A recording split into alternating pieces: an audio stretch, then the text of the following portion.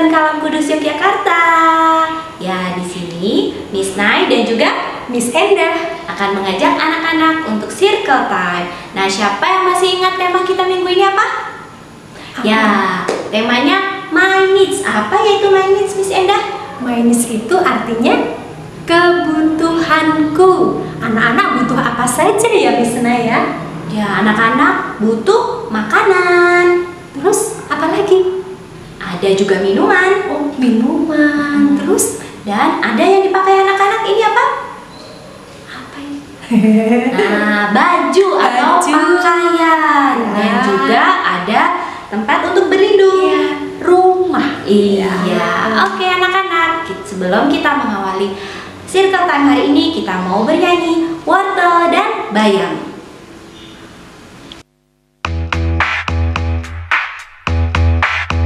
Siapa tahu wortel? Siapa tahu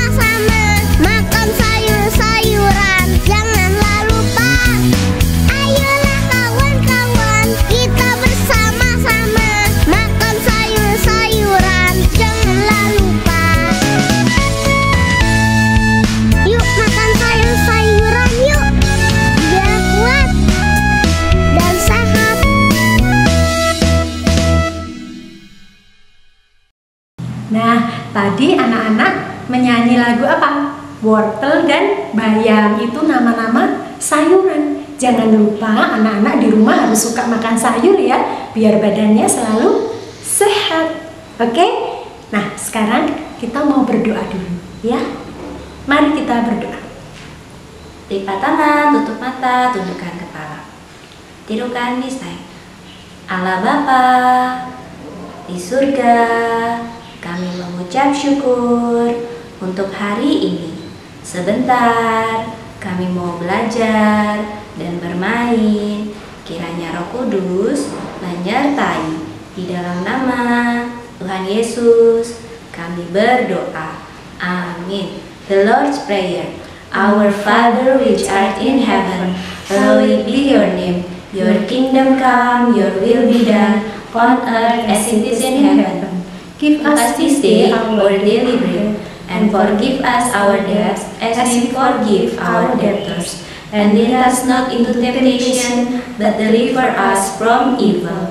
For yours is the kingdom, and the power, and the glory forever. Amen. 谢谢主耶稣给我们新的一天，我们要玩儿 和学习，求主祝福，奉耶稣的名，阿门。 Ya, mari anak-anak, sekarang kita mau bernyanyi lagu Christian song God is great, God is good. Mari sama-sama bangkit berdiri. God is great,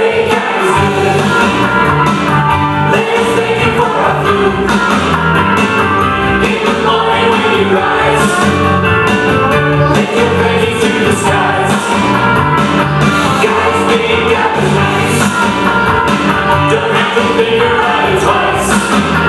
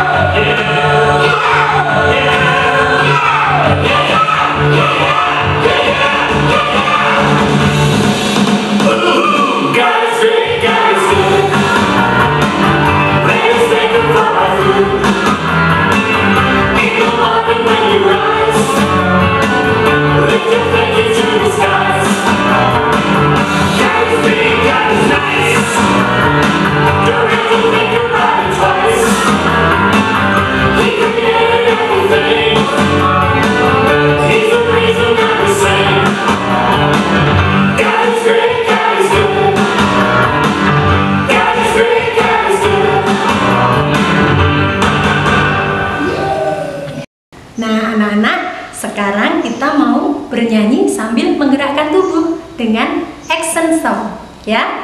Pertama lagunya apa Miss Nay? Yang pertama lagunya I'm a Little Teapot. Terus yang kedua Top of the Morning. Semua ikut ya. I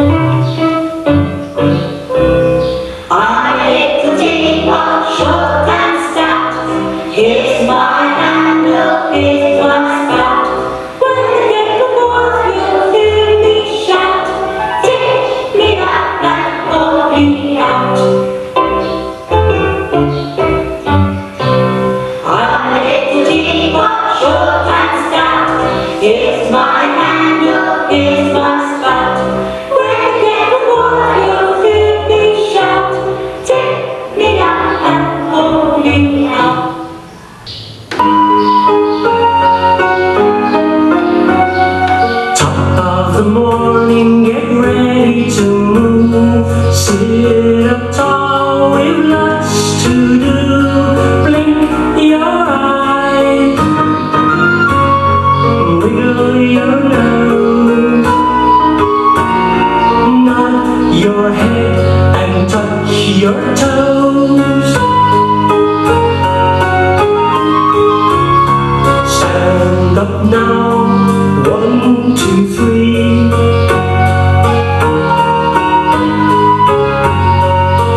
Swing your arms and bend your knees.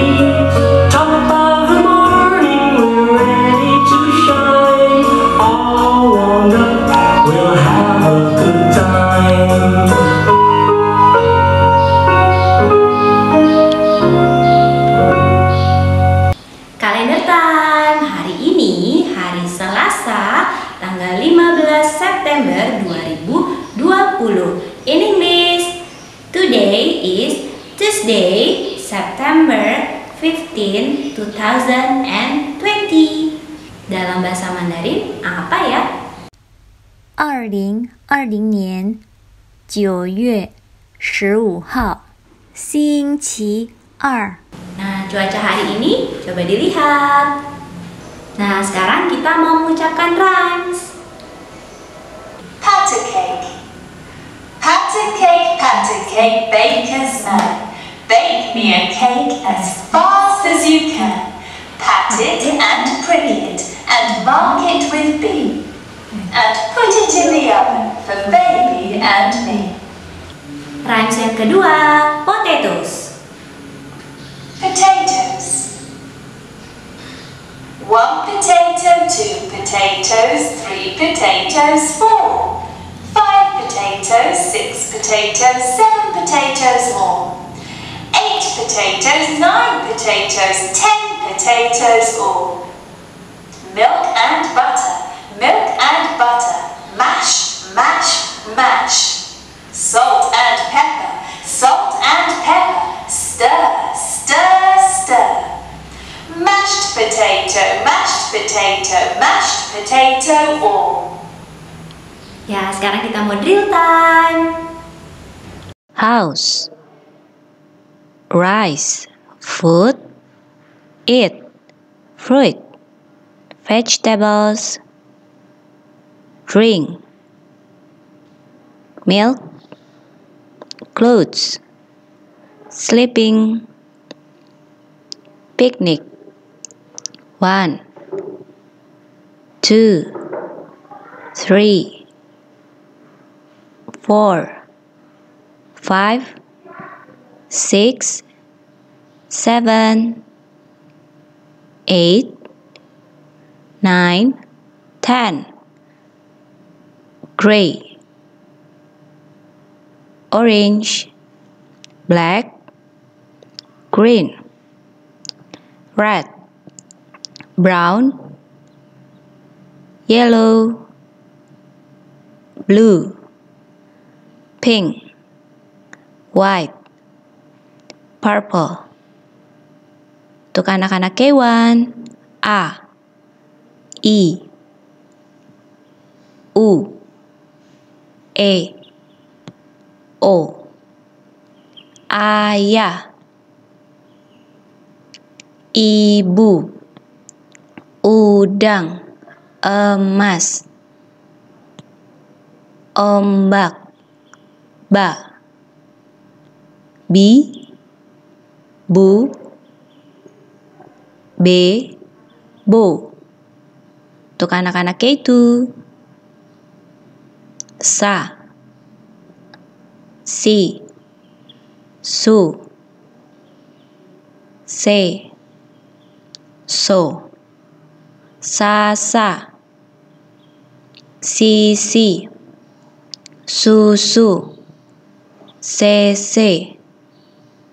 So so untuk Toddler, nursery, K1 dan K2 square. Triangle. Circle. Rectangle. Cylinder. Cone. 2 Timotius 2 ayat 5 Seorang olahragawan hanya dapat memperoleh mahkota sebagai juara apabila ia bertanding menurut peraturan-peraturan olahraga.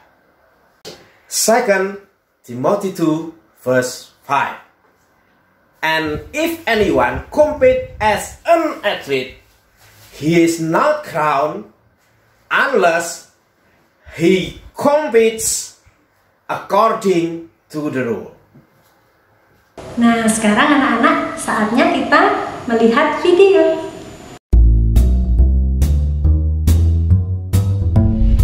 Kepanasan, olahraga, dan kepedesan bikin kita mendambakan air. Beberapa jam kita nggak minum aja, rasanya mulut jadi kering, susah nelan makanan, dan hmm, bau mulut. Tapi kira-kira berapa lama tubuh kita bisa bertahan tanpa minum? Meskipun dipengaruhi oleh berbagai macam faktor seperti kondisi tubuh, aktivitas yang kita lakukan, dan cuaca di sekitar, nyatanya tanpa minum tubuh kita cuma bisa bertahan 3 hingga 5 hari saja. Tapi kenapa sih kita harus minum dan apa yang akan terjadi jika kita tidak minum? Ibaratnya minum air itu kayak oli buat mobil.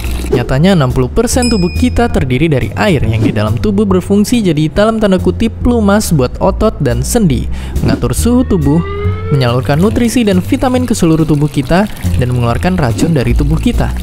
Nggak cuma itu, di dalam air ada oksigen yang bikin kita tetap fokus melakukan aktivitas sehari-hari. Tanpa air, kita bisa mengalami dehidrasi yang jika dibiarkan terus-terusan akan menyebabkan kerusakan pada ginjal, kejang-kejang, hingga berujung pada kematian.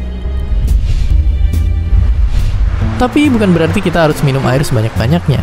Tubuh kita memiliki batasan jumlah air yang dapat diminum dalam waktu tertentu. Jika dilewati, bukannya semakin sehat yang ada kita malah bisa mati mendadak. Dalam keadaan normal, ginjal kita hanya dapat menampung sebanyak 2 botol air mineral dalam satu waktu. Belum lagi kalau kita olahraga ekstrim, kapasitas ginjal akan menyusut drastis karena stres. Nah, jika kita minum terlalu banyak dalam waktu yang singkat, tubuh kita akan keracunan oleh air. Akibatnya ginjal kita akan kewalahan, air akan masuk ke dalam darah kita, bahkan ke otak, hingga akhirnya kita kehilangan kesadaran dan pergi ke kayangan. Kalau begitu, berapa banyak air yang harus kita konsumsi dalam satu hari? Kata orang minum itu harus 8 gelas sehari, tapi ternyata itu hmm, belum benar. Selain karena cuma bikin perut kembung, ternyata kebutuhan air setiap orang beda-beda. Yang jelas tubuh kita kehilangan hingga 2,5 liter setiap harinya melalui urin, keringat, dan bahkan bernafas.